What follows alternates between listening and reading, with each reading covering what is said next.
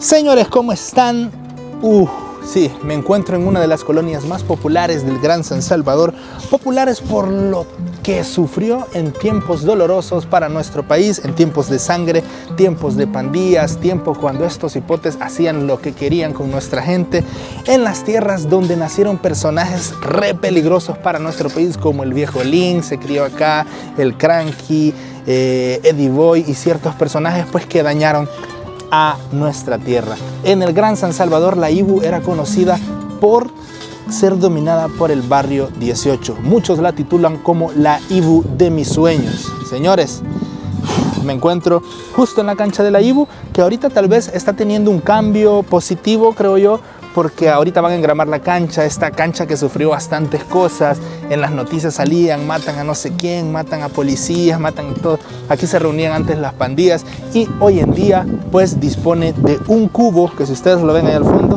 donde todos los jóvenes, niños, señores y todos los que quieran tener acceso a educación totalmente gratis la pueden tener a ese cubo. Pero bien, necesito que me acompañen a este tour en la colonia La Ibu. Vámonos. Mañana,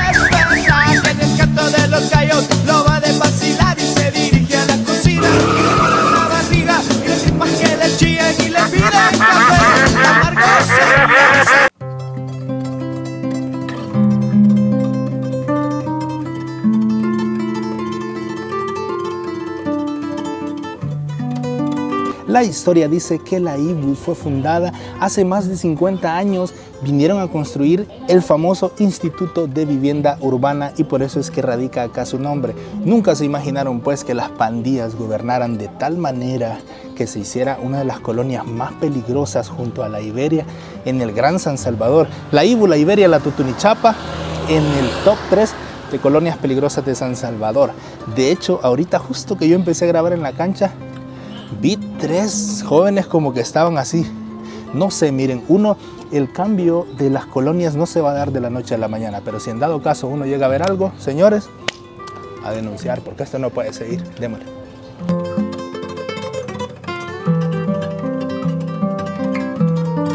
Si ustedes vieron el documental que hizo en tres partes un periódico internacional donde justo en esta parte de acá salía un pandillero que lo estaba siguiendo a la policía y sale, se levanta justo en esta parte, venga, acompáñame. Por eso tenemos que andar, va, en la juega ahí. Nos tenemos que cuidar. ¡Ey, la jura, la jura!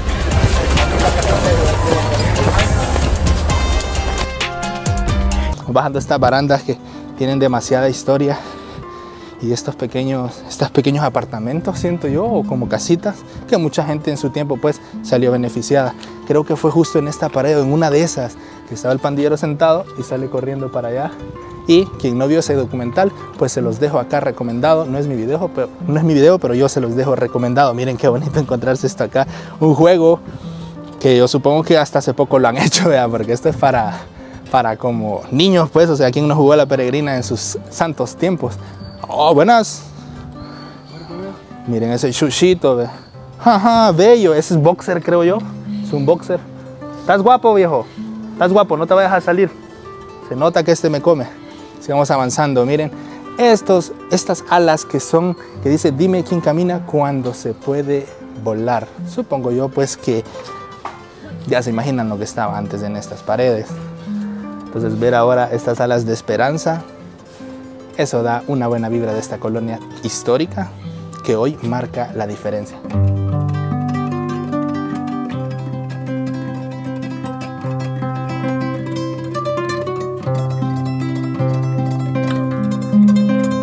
Me acabo de encontrar a un joven que creció acá, que nació acá en esta colonia. Le vamos a poner un nombre ficticio porque no quiere salir en cámaras. Respetable todo eso, le vamos a decir Rodolfo porque tiene cara de Rodolfo. Bueno, pues la colonia ha tenido un gran cambio diferente. Eh, por lo menos nosotros que tenemos años de vivir aquí, por lo menos acá en la, en la colonia Ibu, han salido personas de, de nombre, pues, más que todo futbolistas, que siempre es lo ¿Como quiénes? eh, Rafa Burgos, Rafa Fuentes, el Tigre Zamora, eh, los Pachines que eran hermanos de- de- del Mágico González. También tenemos jugadores que están empezando ya en, en el área deportiva, que están en reserva de la Alianza también. Qué bueno, eso, te, eso puede aportar de la nada un barrio tal vez que ha sido siempre estigmatizado por cuestiones de la delincuencia. A veces quizás un bicho ha nacido en este barrio y es súper talentoso por muchos sueños, ya sea en el área de fútbol, este, en el área educativa y todo, de la nada brilla, pero se los digo, se los digo yo también porque al menos yo que crecí en Soya, muchas personas te estigmatizan por ser de una zona y dicen, ah, no, este creció en la Ibu y como creció en la Ibu ha de ser pandillero o este creció en Soyapango y como creció en Soyapango este de ser pandillero. Entonces la gente te suele estigmatizar, ¿ya te ha pasado eso a vos? Sí, claro, llegó el momento de que no podía decir que eras de la IBU, porque si ya decías que eras de la IBU, ya eras parte de una pandilla. Y en realidad ya uno hasta apenas le decía que era ser de la IBU, pues porque la gente estigmatizándote ya te señalaban que eras parte de una pandilla y quizás no, no era así, nada que ver. Bueno, ahí ven, testimonio vivo de Rodolfo. Cosas que pasaron, jugadores importantes pasaron en esta cancha. Sigamos dando a la colonia, sigamos conociendo más. Y justo atrás podemos ver que allá está el cubo, que dicen de que ahorita están recibiendo clases los jóvenes. Qué bueno que ahora hayan esas oportunidades. Antes nosotros teníamos que ir a un ciber, cruzar el montón de calles y en ese montón de calles nos encontrábamos un chingo de pandilleros que si es posible te pedían lo del ciber y adiós tareas. Hoy hay posibilidades, bichos. Hoy, de gratis, usted se va al cubo, tiene internet. Sigamos, vamos. Los quiero llevar al parqueo de la IBU. Vamos, ven.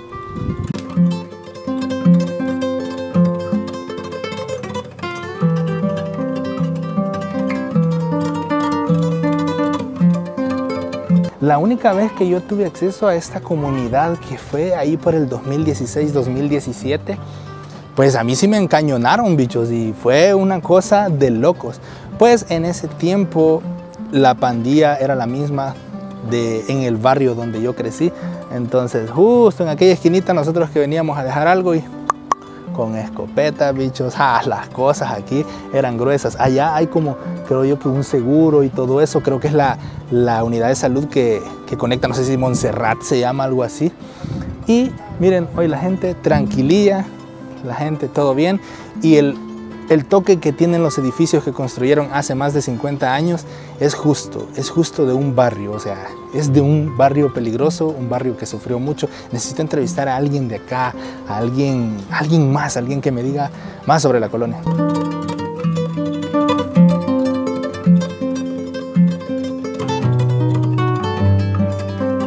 Solo miren el entrar a esta colonia lo que significaba antes, ¿ve? Toda esta bajada entrar y ver a los escopetados era una cosa de locos. Arriba hoy está esa delegación. ¿Hace cuánto está esa delegación, hermano? ¿Siempre ha estado? ¿Siempre ha estado esa delegación? No. Hace poquito.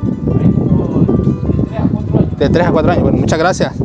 Bueno, de 3 a 4 años tiene esa delegación. Ahí la ven.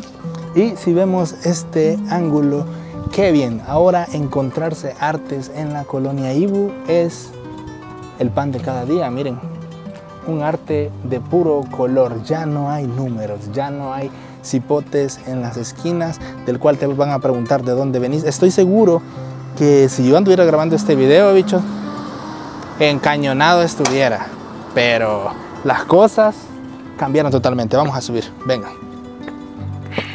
Y siempre quizás en la Ibu han habido como parques recreativos así, chiquititos como sillitas para que los niños jueguen. Yo solo tuve acceso a entrar a la principal, a ese parqueo y a un pasaje. Nunca en realidad me he profundizado en esta colonia que hoy en día pues está así.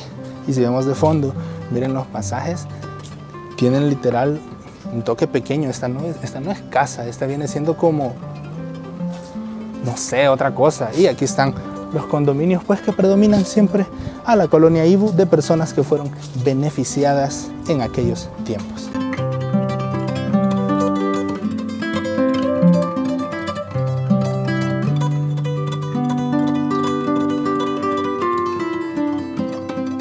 Y justo en estas mesas, pues donde usted solía pasar tal vez desde acá, ya lo estaban como la famosa frase que le decían antes, posteando. quien no creció en un barrio peligroso tal vez no sabe de eso, pero quienes crecimos en esto de, de ver pandillas en cualquier esquina, el postear era que ya te estaban, o le decían chumpes y cosas así. Entonces, uno que creció en un barrio peligroso, cuando entraba a otra colonia, yo al menos siempre iba como que para los lados, para atrás, detrás de un carro, en cualquier lugar de estos. Que miren, ahora se pueden ver hasta niños que están jugando tranquilos, con sus papás a un lado, una niña allá de aquel lado que viene a jugar con su scooter. Todo bien, muy bonito. Y un toque peculiar que tienen estos condominios es que allí, esto me recuerda mucho a un barrio que conocí en Argentina, que era súper peligroso también, me encantaría grabar, en el barrio de Apache creo que se llama, que tienen la ropa así. Esto, creo yo, no sé si decirlo, pero eso de tender la ropa así es de barrios peligrosos, bichos.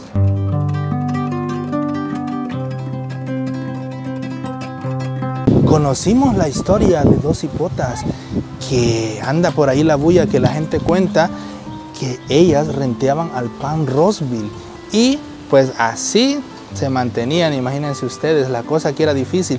También pues que ellas tenían un novio, o como se, a ellas tal vez los, los pandilleros le decían como jainas o no sé, como las, las bichas del barrio prácticamente, que no solamente se acostaban con uno, sino que andaban rondando lastimosamente con varios y las peloneaban. Ese era el castigo cuando le fallaban al barrio. Increíble. La última fue que policía casi me matan. ¿Y eso? Me tiró como 12 bombazos. Pero no le pegó ni uno. No, gracias a Dios, no. Estaba pija, acababa de una... En el 2020 fue. Usted había echado el par de cervezas tranquilo. No, agarrar el castillo caliente. Cuando me dejó ir como 12 bombazos, dijo madre. Pues, en las patas se los tiró. No hacía el cuarto, pero ni uno me agarró. Nos encontramos, tengo el honor de entrevistar a una suscriptora que dice que su hijo me ve de pequeña, hermano. Exacto. Desde que estaba bien chiquitito. Oh, chica, bicho, yo hasta eso me hace sentir viejo a mí. Mire, primero, antes de entrar al tema, quiero tocar esa. ¿Cómo se llama? Mongolia. Fíjese que yo ah, soy amante bastante de estos animales asa- así, perdón. Tenía uno. ¿Y por qué se ha inflado usted? Porque desconoce. eh, ajá, desconoce. Ah, es un Exacto. dragón de fuego. Yo tenía una, Una pero... iguana. Ajá, no, yo tenía una iguanita, es lo que quería decir. Y, y me la huevearon allá en el, los bichos de allá. Sí, Yo la adoro esta. La tenemos desde que estaba bien chiquita. pero está bien hermosa. Eh, lechuga, zanahoria, chile verde. Ajá. Sí, bueno. Y estos animales me encantan. Este, ¿Cómo se llama? Eh, insectos. Cucarachas y todo. Ah, pero la- eso sí, o sea, tienen que estar, eh, fruta también, pero tienen que estar como yo tener el, el nidito ahí todo de los animalitos porque si no se me mueren. Ah, está bien guapo. Sí. Bueno, hermana, ¿usted cuánto tiene, cuánto tiempo tiene de vivir acá? Aquí nací. De verdad. Sí, aquí nací. Híjole, ¿y cómo, cómo siente usted que ha cambiado el barrio La Ibu, que ha sido una de las colonias populares conocidas por malas cosas? Ya usted sabe a qué me refiero. Sí, sí, malísimas. Bueno, eh, la verdad de las cosas es que nosotros aquí pues siempre hemos estado tranquilos, ¿verdad? Siempre han habido programas. Eh, ahora con el cubo pues es súper chévere porque los niños se entretienen bastante. Pero sí está tranquila la colonia, bastante tranquila. Los invito a todos que quieran venir. Ahora es como un museo esto. Hombre, ¿quién, ¿quién no quiere venir a la colonia ahí? O sea, ¿quién no, verdad? Pero sí, los invito y sí, estamos súper tranquilos aquí. Ahorita nos están arreglando la cancha, tenemos ese proyecto de la cancha de fútbol que es emblemática aquí, ¿verdad? Porque ¿quién no venía a jugar a la, a la, a la, a la cancha de la IU? Sí. Excelente, una Eso me buena han contado que vinieron personajes muy famosos a esta cancha. sí, Desde el mágico y todo. Excelente, cancha. El hijo de ella está jugando en una reserva de un equipo de acá. En la sub-17 de la Eh, Alianza. ay, de la no, lo- Alianza. no lo tenía que decir, este equipo no me gusta. Paja. Ajá, primero Dios algún día en el FAB. Primero Dios. Vaya, como debe ser. 100% roja. Eso, señores, me encanta eso. Bien, testimonios vivos de personas que están viviendo acá. Qué bueno encontrarme ella con sus hijos, con su familia que anda atrás. Así que, señores, esto es la IU hoy en día.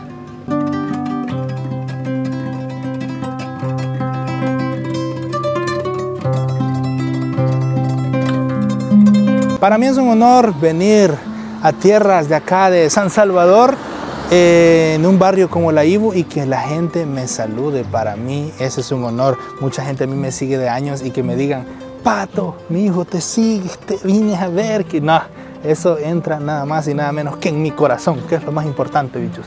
El corazón. Buenas. Bien, aquí entramos ya a una parte del parqueo.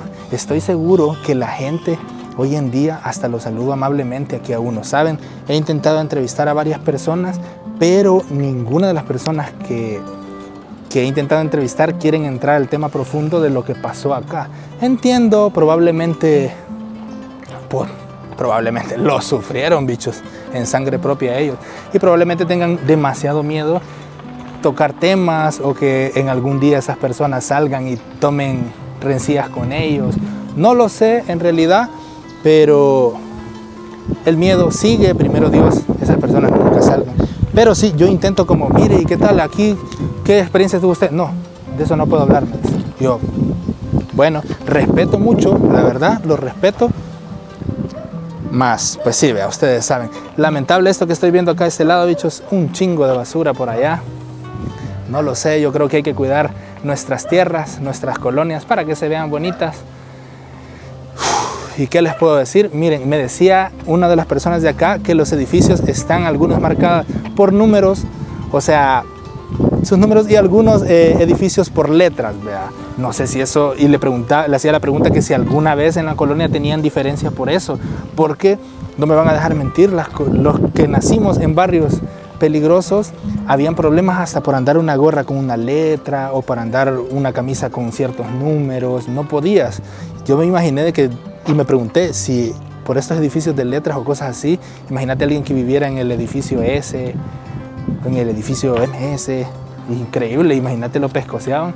La verdad, aunque dicen de que toda esta colonia nada más se agarraba bombazos con la colonia La Luz que está a la par, los de la Dina y así, entonces tal vez habían rencillas entre ellos mismos, entre el mismo barrio y cosas así. Me he encontrado personas que no sé, la verdad, siento que me están mintiendo, que dicen de que no se metían con nadie, que no sé qué.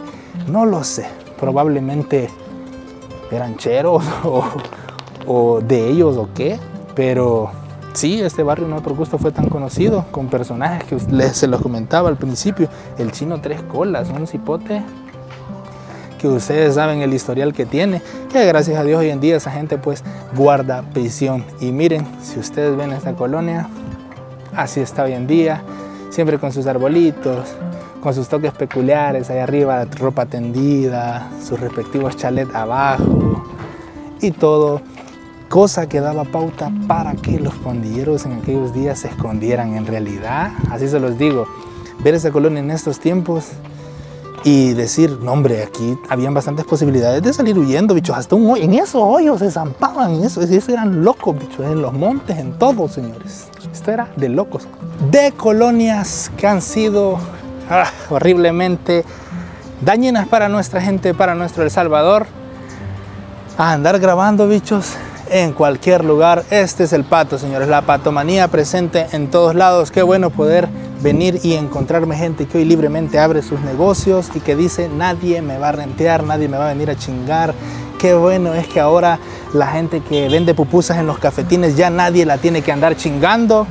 Eso me satisface mucho y puedo decir, bichos, en serio, qué buenísimo. Hasta los, de lo- hasta los del pan bimbo hoy entran en paz. Va, pues vos. Ahí estamos, hoy ya no hay nadie que lo chingue. Ahí estamos, señores. Para mí es un gusto estar acá. Hasta los del gas, mira. Estoy seguro que hasta los del gas le sacaban cosas antes. Pero bien.